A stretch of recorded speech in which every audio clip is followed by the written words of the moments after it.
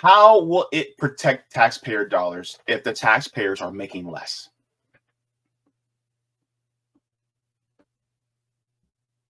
That doesn't make sense.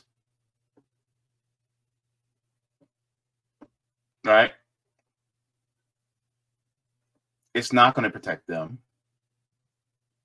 And this shows that you only have a regard for, for taxpayers if they are the owners of the means of production.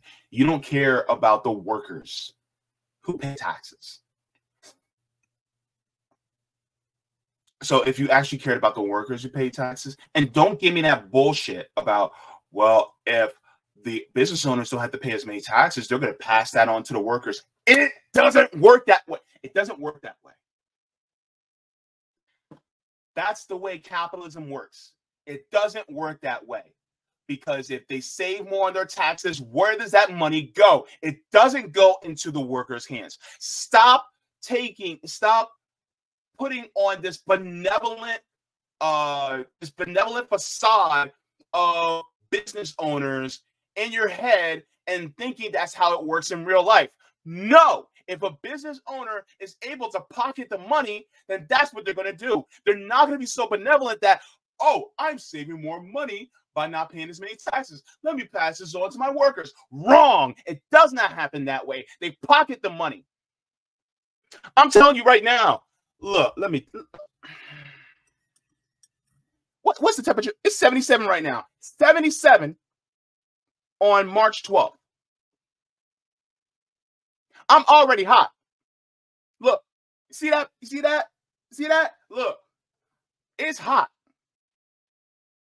And if you're a worker, oh, they got you effed all the way up. They got you effed all the way up. Because the thing is that these Florida politicians do not give a damn about you, me, or anybody else.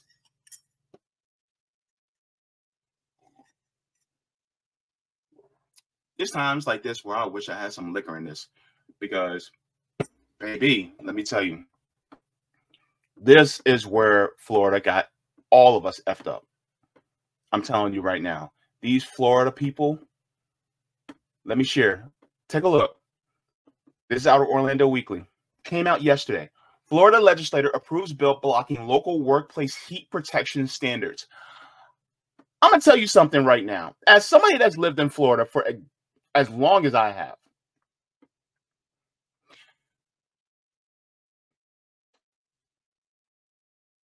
gets hot. These these curtains aren't enough. I need some blackout curtains. Do you know how hot it gets here with humidity? And you mean to tell me that these politicians are weakening heat protection standards for workers, especially workers that work outside?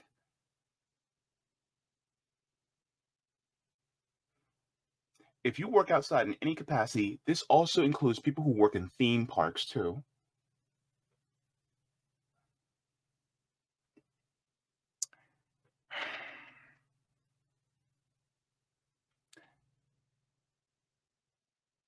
I'm telling you, you need to band together with your fellow workers and say no. Let's get into the article because it is egregious what they're doing here in this state. It says HB 433 prevents cities and counties from requiring employees, I'm sorry, employers to provide shade and water to outdoor outdoor workers. So let's get into it. Florida Republican dominated legislator muscled through an industry backed bill last week that, if approved by Governor Ron DeSantis, would block local governments from requiring their contractors to provide heat safety measures such as water breaks and other cooling measures for employees who work outdoors. Hang on. Number one, my opinion, Ron DeSantis is, I'm pretty sure he's going to sign it. He's not going to veto this. He's a corporate stooge. He is a corporate tool. So he's going to approve this. And this is not just to people who work in theme parks. It could people be people who work for uh, the city of Orlando, the municipality of Orange County. It could be people who work at the beaches. It could be people who, hell, work at water parks. Like, what in the world? And you mean to tell me that you're not gonna you're gonna weaken these standards for workers because the industry wants less protections for work? Oh, I forgot. We live in the United States of America.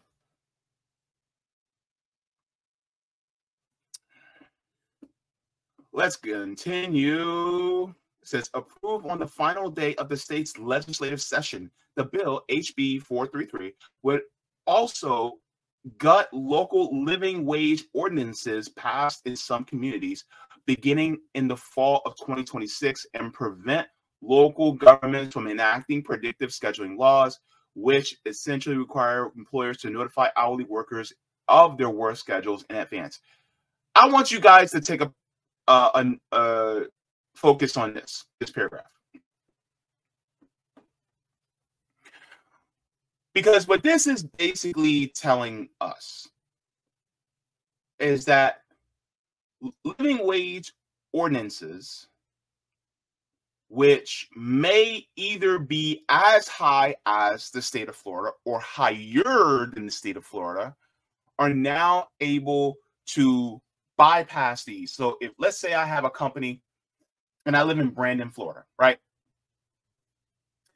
And the state says I can only pay $12 an hour, but Brandon city government says, well, you have to pay, let's say 14.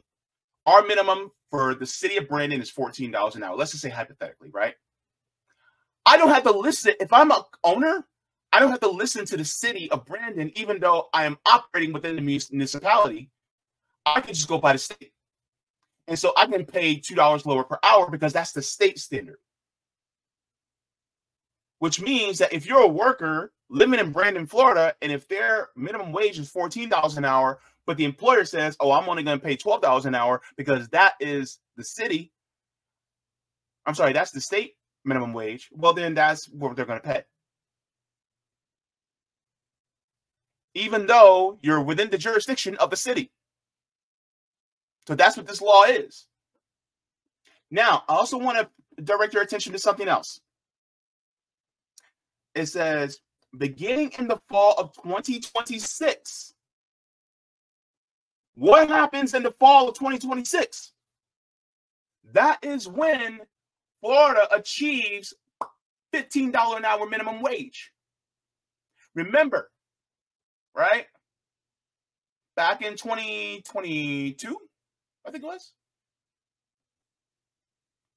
We we actually voted for a $15 an hour minimum wage by citizen ballot initiative.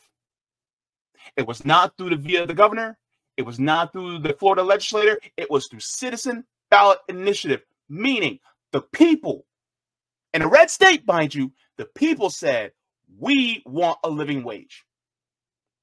And now they're saying, ah, nah, nah, nah, nah, we got to weaken this. Y'all can't get no damn living wage. We don't want you to give a living wage. This is what happens when politicians work against the people. This is why I say leave both parties. Because the Florida Democrats are terrible. They're trash. And we already know that the Florida Republicans who run this state I'm trying to watch my language, but you know what I want to say. So leave both parties because they are trash. You want to go third party? All right, go third party. Or if you want to go independent, all right, go independent. But focus on those ballot initiatives because those ballot initiatives actually made it so that we can get $15 an hour. And it says, and prevent local governments from enacting predictive scheduling laws, which essentially require employers to notify hourly workers of their work schedules in advance. Do you know what this means? This means that let's say you're I'm your employer or I'm your manager. And you have a schedule from Sunday to Saturday and you have your work schedule, right? Let's say Saturday evening the schedule changes your schedule changes. According to this law, I don't have to notify you. That means that you have to constantly check in to see if the schedule changes. Meaning, let's say you had a day off before before I posted a new schedule. I don't have to notify you. I don't have to do it in advance. I can do it morning of. They don't care about workers. Let's continue.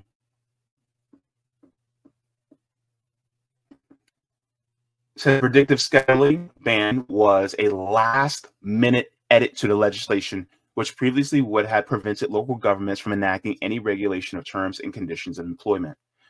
The legislation, sponsored by first term Republican Tiffany Esposito, was opposed by most Democrats and a smattering of Republican legislators in swing districts, districts but backed by deep pocketed business lobby. This is the point. If you think that the Republicans care about workers, you got another thing coming. Don't get it twisted. Democrats will say that they care.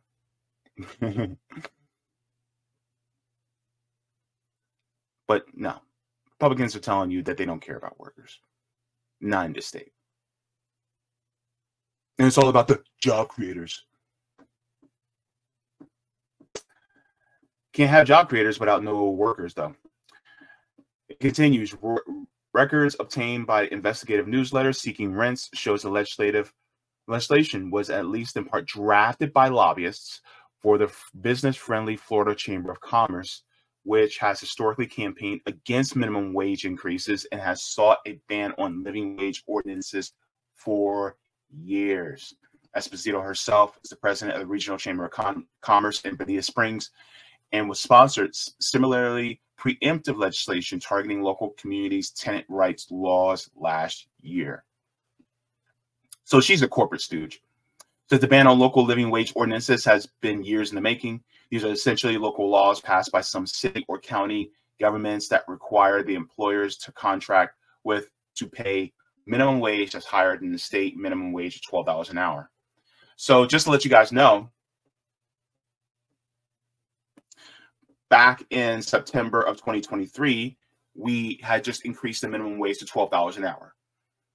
So every September, the minimum wage will increase until 2026 when we reach $15 an hour. And then once we hit $15 an hour in 2026, then the minimum wage will increase in accordance with inflation. And they don't want that because they want more money. And by they, I mean the corporations. And so they're trying to circumvent this, circumvent the will of the people through the Florida legislator. This is why, and I'll say it time and time again, that in order to truly combat them, means of direct democracy, like ballot initiatives, are so important because you don't go through a politician. You direct the law itself. Don't depend on these politicians. They're not here for you. They're going to screw you. At least the ones in the duopolies so far, one I can tell. All right, let's continue. So here's the fact Florida's minimum wage is already set to rise $1 each year until it reaches $15 an hour on September 20th of 2026. Due to a constitutional amendment Florida voters approved in 2020, despite an opposition campaign spearheaded by the Florida Chamber of Commerce. Right? Under the bill approved Friday, thousands of employees and communities with such ordinances in place could see their wages change come October 2026. The bill would not affect employees of the city or county governments, however, which would maintain the right to regulate wages of their own employees. So that's the that's uh it's so egregious. It's crazy. It is unclear how many contracted workers will be affected, and Esposito couldn't say for sure for herself. But in Miami Dade, it is expected to affect more than 28,000 employees from airport baggage handlers to custodians and healthcare professionals. So, who is this going to hurt primarily? The essential workers, the people who we depend on day in and day out for our goods and services. That is who is going to affect. If you're a, a professional, if you're in a professional managerial class, let's say you're making eighty, ninety thousand dollars a year, is it really going to affect you? No, it's not really going to affect you. But what kind of solidarity do you have with your workers who are in these positions, who are in these entry level jobs?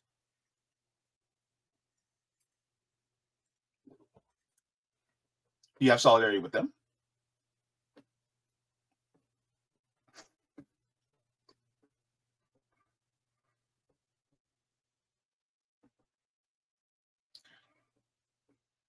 Says Esposito, who argued the bill would protect taxpayer dollars, refused to answer whether workers could see pay cuts if the bill signed into law. Could wages go down? Maybe, she admitted during the bill's first hearing. It's up to the prerogative of the employer. Here's here's the thing, Miss Esposito. I gotta tell you something. How will it protect taxpayer dollars if the taxpayers are making less?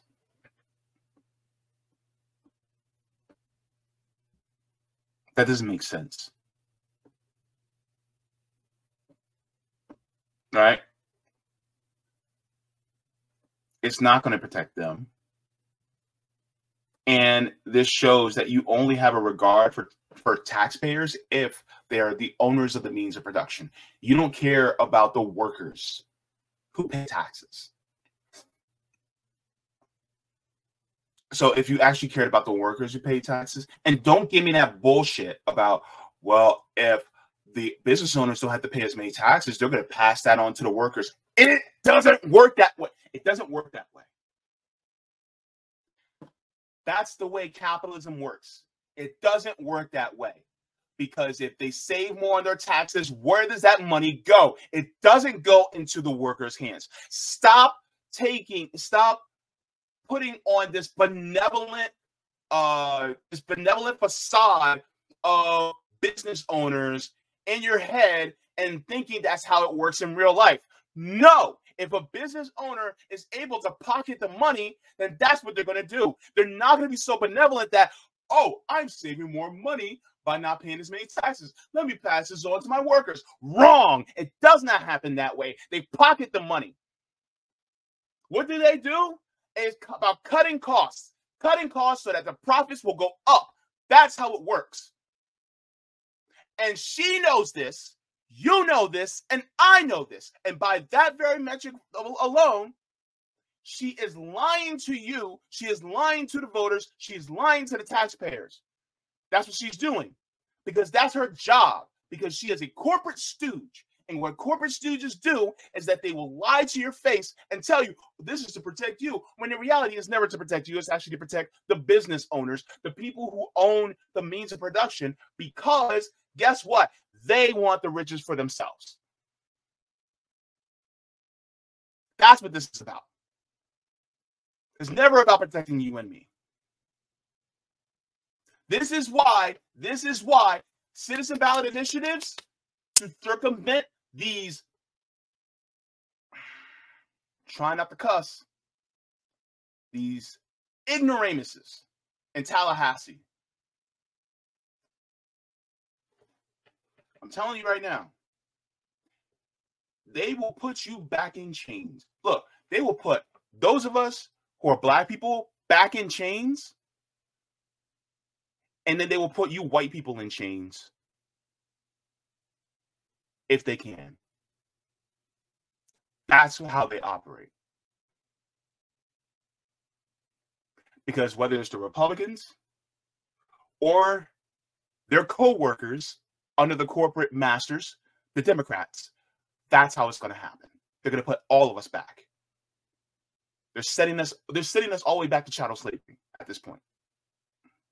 Do I sound hyperbolic? Go ahead, let me know. But it's not because every single time you peel back a worker protection, you're going back to slave. Slavery is here, right? During the New Deal, we, you know, we as as things progressed during the New Deal, we went this far. Post New Deal, then they started going back and back and back and back and back. So guess what? Right? Or let me do it like this. Slavery, New Deal. Since then, the business owners were like, oh, hell no, we want, and it goes back and back and back and back and back. They're trying to get as much free labor as, out of you as possible. I don't care what anybody says. They want that free labor. They're not so benevolent that, oh, well, we just want to pay good workers for good work. No, you want that shit for free. You want to talk about lazy people who sit on their ass all day and expect everything handed to them? It's not socialists, it's not communists, it's capitalists. They're the ones that want everything for free because they don't actually want to do the work themselves. That's your enemy. Anywho, let's continue. The ban on workplace heat safety standards, which gained national attention after a summer of record breaking heat, appear to be largely targeting a proposed ordinance in Miami Dade County, where county commissioners last fall considered adopting landmark standards for heat exposure that would have been much stronger than what is already required under state and federal law, which isn't much. No other community in Florida has passed any local ordinances mandating such a thing. This bill will prevent local communities from trying. So let's say, uh, let's say the city of Orlando, where I live, let's say they say, okay, if you're working, if you're working uh, an eight-hour workday, and let's say the temperatures are above 82 degrees, right? You are allowed instead of two 15 minute breaks and a 30 minute break. If you're working outside, let's say you're allowed six 15 minute breaks and a half hour break. And those 15 minute breaks, you still get paid for right? Meaning that if you're taking those breaks, especially out of the sun, that's money that's not being made by the capitalists. And because of that, then guess what? They're not making as much profit because you're taking a break because you don't want to get heat stroke.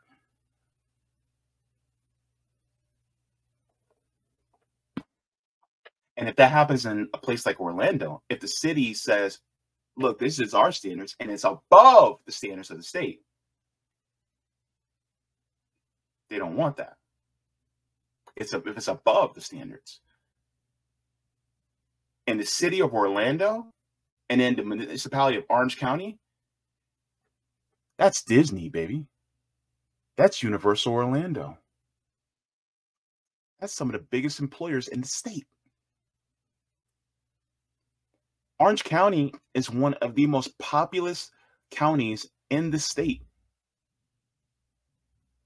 Outside of Tampa, Jacksonville, and Miami, Orlando is one of the most populous states. I'm sorry, cities. So, yeah, of course they don't want that. Plus, Orlando is a, a Democrat controlled city.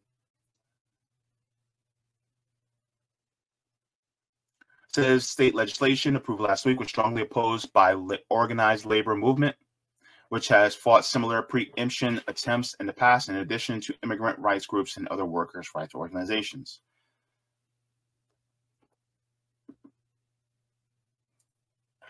So, says currently, employers that fail to provide heat safe workplace in Florida can face a potential fine from OSHA, that's Occupational Safety and Health Administration, under the agency's general duty clause, but fewer do. Florida Republicans, regardless, pointed to OSHA's voluntary guidelines and the risk of being fined for failing to protect workers on the job as the defense of the preemptive legislation, which remained divisive to the end. Preemption on wage and scheduling policies in Florida's bill, in particular, almost died in the Florida Senate, which didn't get on board with the portion of the bill until the second to last day of session. That's when Esposito agreed to delay the implementation to date of September 30th of 2026. So, and now the bill is headed to DeSantis for his signature. But make no mistake, this does not reach uh, its enactment or it, it, you know follow through until September of 2026. So workers are going to get hit blindsided by this because they're not going to realize this happens until by the time we hit October. But then by that time, if you're working outside, it's cooling down. It's not that bad. But it's in 2027 that next time when we hit, it's not even when we hit summer, it's when we hit spring because it gets that hot here. When we hit spring, and we start having more record temperatures than we do now, mark my words, will happen. Guess what's going to happen? They're going to be like, well, I need to take a break. And the workers, I'm sorry, the employers are going to be like, no, no. Because the city, the city won't allow for that to happen. I'm sorry, they won't allow the cities to happen, that to do that. So let me share something with you guys real quick.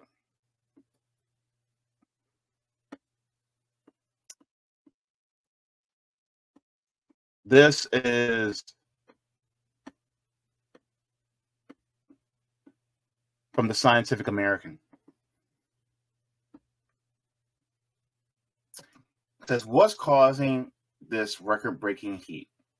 This is from last year says yet another heat dome will send temperatures skyrocketing across the U.S. Southwest just after the planet saw its hottest week on record. says temperatures are set to skyrocket to potentially record-setting levels across the U.S. Southwest. Yet another heat dome entrenches itself over the southern interior of the country in Mexico. Just it is just one of many pushing deadly heat waves that have big locations around the world from China to Algeria this spring and summer. The trend towards moving frequent, longer lasting, and more intense heat waves is a hallmark of climate emergency that has resulted from humans burning fossil fuels and releasing planet warming greenhouse gases. What do they say? More frequent, longer lasting, and intense heat waves.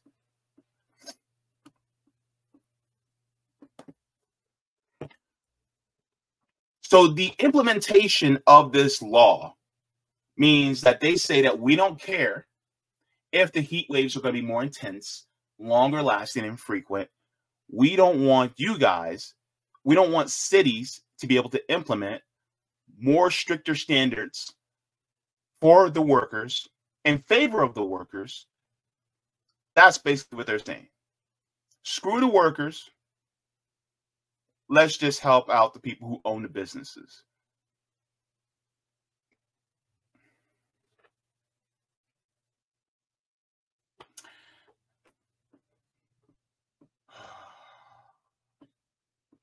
Jesus. Says the heat extremes, along with exceptionally warm, uh, warm ocean waters, contribute to the first week of July becoming the hottest week on record globally. Based on preliminary data, according to the World Meteorological Meteor. Gosh, I can't talk today.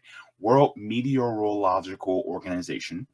That milestone came just after the hottest June on record, with an El Nino event in place that is set to further boost global temperatures. Experts expect more monthly and potentially even deadly heat records to be topped. The last heat wave is courtesy of an intensifying high pressure system over the southwest, which is affecting broad swath of the southern third of the country, which systems feature sinking air, which gets compressed and heats up. The accompanying clear skies also allow plenty of sunlight to stream to Earth's surface, furthering rising temperatures.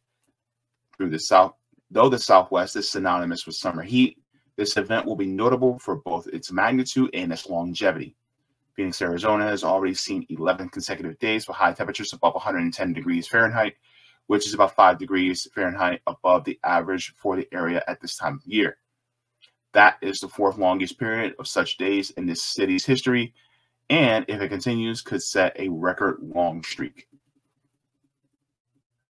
So, what we're seeing now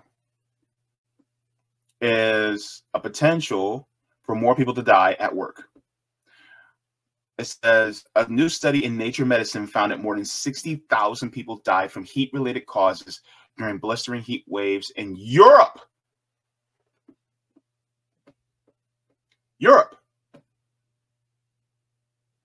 If they're dying in Europe from heat related illnesses, what makes you think they're not going to be dying here? Hmm? It says that toll suggests that the heat adaptation plans that cities and counties, I'm sorry, countries have put in place, such as early warning systems, are insufficient to protect vulnerable populations. And the findings come as around and area, as areas around Europe, particularly Italy, Spain, and Portugal, face brutal heat again this summer. North Africa, too, has seen astounding heat. On July 6th, the temperature in Adrar, Algeria, didn't drop below 103 degrees, even at night, the Associated Press reported. High nighttime temperatures add to the danger of heat waves because the body doesn't get a chance to cool off and recover.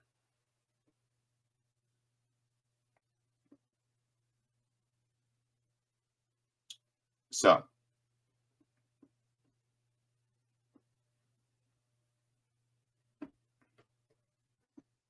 with the onset of climate change and global warming happening, really it is a it is an imperative for us to fight against these capitalists who want you to continuously work outside with less breaks and some people would say, "What? Well, they just don't want it to be dictated by the cities." What's wrong with it being dictated by the cities? If the cities dictate, oh, it's because of the ones that are run by Democrats, right? Make no mistake, I don't have any love for Democrats. But it's ultimately really just about going against the workers because the workers do not want to work if they're about to suffer from heat stroke. I'm going to share this video really quick.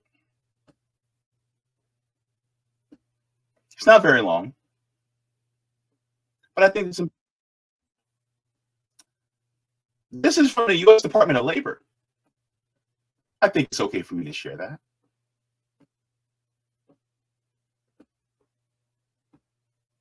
Yep. Department of Labor actually has a YouTube YouTube channel. All right. Let's take a look. Every year, thousands of workers become sick from heat exposure, and some cases are fatal. Dangerous heat exposure can occur indoors or outdoors in any season. Nearly three out of four heat illness fatalities happen during the first week of work, so new and returning workers need to build tolerance to heat by taking frequent breaks and working shorter shifts to start. It is also important to drink water, even if you aren't thirsty. Take rest breaks to recover from heat in the shade or a cool area. Be sure to wear a hat and light color, loose fitting, breathable clothing if possible. And remember to monitor yourself and fellow workers for signs of heat illness. Also, if you're wearing a face covering or personal protective equipment such as a respirator, verbally check on others frequently for signs of heat illness. To learn more about heat illness prevention and first aid, visit osha.gov/heat. So, let's go over the facts. This is from the government. Every year, thousands of workers become sick from heat exposure, and some cases are fatal. Dangerous heat exposure can occur indoors or outdoors in any season. Those of you who worked in the kitchen, like myself, I actually went to culinary school and I worked in the industry for a few years before I got sick. It's about a good 95 to 100 degrees in the kitchen. We're told to drink plenty of water. And we're told to take our breaks. And we're inside in the kitchen. It could be freezing cold outside, but it gets hot. So if you're working and it's a high humidity, which it always is here in Florida, and then on top of that, you're out in the sweltering sun. Let's say you're working in the on, let's say you're you're doing roofing work right? Or you could be a ride operator at, let's say, Busch Gardens. But let's say Tampa goes, well, we have these particular ordinances that workers can only work so long in this heat they have to be able to take breaks at you know these you know these amounts of times and water breaks and whatnot. But tampa can no longer go above what the state ord- state ordinance is. All because the companies don't want you to take more breaks than what the state says. They don't want more protections for workers now the city can go below that. They they're cool with that. But going above it for protection of workers, nah, they don't they don't like that.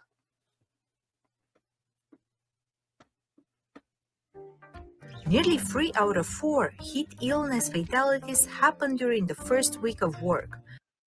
Oh, baby.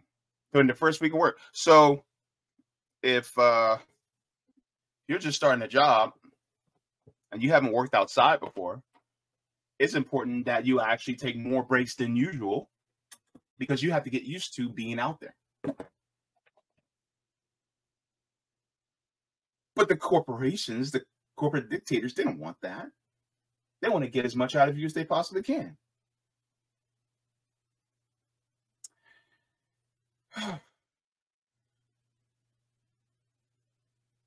it's three out of four. That's 75%, y'all. That's 75%.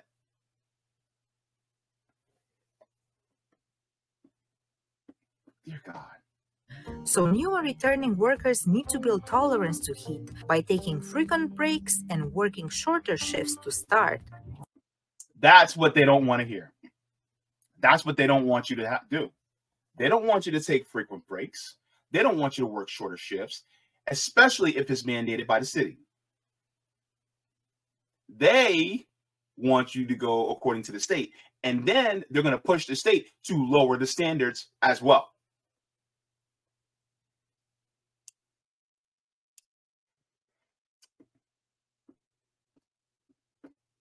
It is also important to drink water, even if you aren't thirsty. Take rest breaks to recover from heat in the shade or a cool area. Be sure to wear a hat and light color, loose fitting, breathable clothing if possible. And remember to monitor yourself and fellow workers for signs of heat illness. Also, if you're wearing a face covering or personal protective equipment such as a respirator, verbally check on others frequently for signs of heat illness. To learn more about heat this is why they don't want these protections in place being set by cities. Because, and also, I want you guys to notice this. let's say the standards are more strict in Miami Dade than they are in Jacksonville. Well, of course, they're more stricter in Miami Dade versus Jacksonville because Miami is at the southern tip of Florida, whereas Jacksonville is right below Georgia. So, of course, the temperatures are going to be different. Of course, they're going to have more stricter standards in Miami than it is in Jacksonville. Because the further south you go, the hotter it gets. The hot, the closer you get to the equator, the hotter it gets. And yet, oh well, we just want one blanketed standard for the entire state.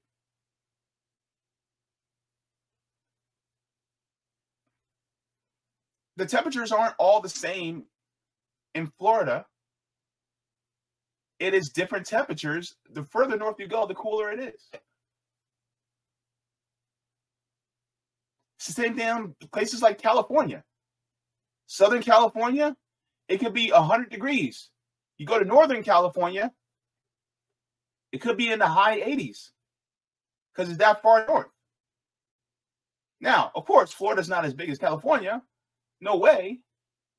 But are they going to have all the same standards from city to city? No, it's not going to be the exact same. They may have more stricter standards because it gets hotter down there.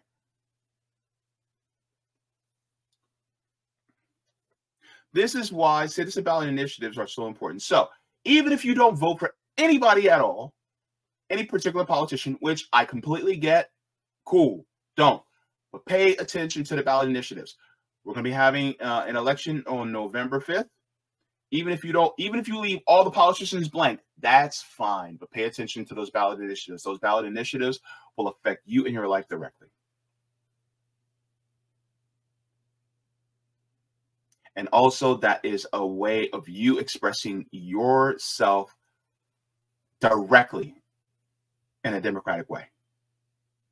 So, direct democracy, like for instance, the recreational legalization of cannabis is actually on the ballot this November. I'm just saying. That's just one example. We passed the $15 an hour minimum wage in 2022. Why? Because we said yes. We didn't depend on the on the legislator to, to do it because it would never have happened. So pay attention to that. But yeah, I'm gonna tell you right now, these politicians got us effed up all the way up. Thank you so very much for watching my channel, and I deeply appreciate it from the top and bottom of my heart. If you wish to support the channel further, so I can keep bringing you content that is educational and informative, you can become a patron on patreon.com forward slash jaybefaunt. You can find that link in the pinned comment or in the description below. No matter what you give, you'll be supporting independent media and education that helps make the world better. Thank you so much. And you can watch more of my content here. Mwah. Forehead kisses and have a beautiful day.